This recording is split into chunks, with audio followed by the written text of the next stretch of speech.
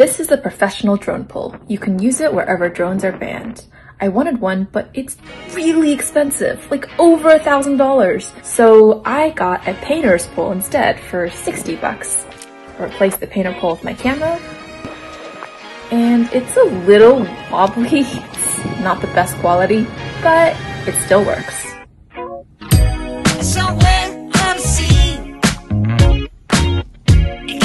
No drone, no problem!